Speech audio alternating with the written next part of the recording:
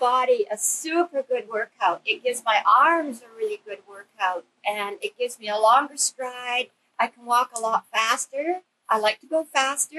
She's not kidding. They're zooming about out there in the rain on the seawall, flashing by with those aircraft grade aluminum struts. Does Yeah. this does this really help?